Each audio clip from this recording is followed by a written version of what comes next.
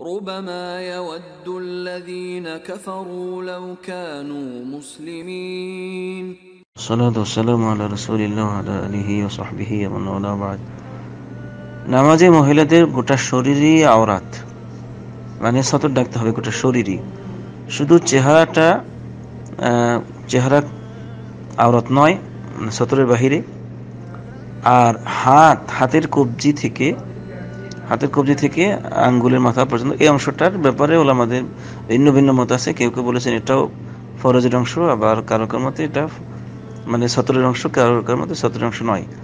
কিন্তু পা সহ আর বাকি গোটা শরীর ডাকতে হবে। তো আপনার কোনোই পর্যন্ত বের হয়ে যায়, এটা তো কোনোভাবেই গ্রহণযোগ্য নয়। এজন্য আপনি ওড়না নয়।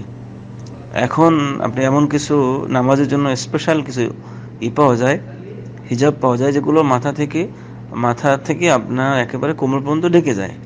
হাত ভিতরে থেকে যায়।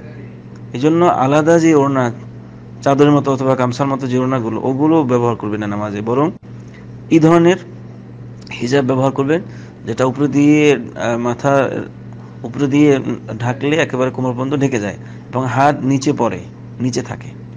এগুলো পরে নামাজ পড়বেন। কেন যেহেতু নামাজে গোটা শরীর মহিলাদের আওরাত ডাকতে হবে। চেহারা ছাড়া, সুতরাং আপনি যেটা করতেছেন, এটা কিন্তু ঠিক হচ্ছে না। কোন বের হলে নামাজে অবশ্যই ব্যাঘাত ব্যাঘাত হবে এবং নামাজ বিশুদ্ধ হওয়ার সম্ভাবনা কম। জি।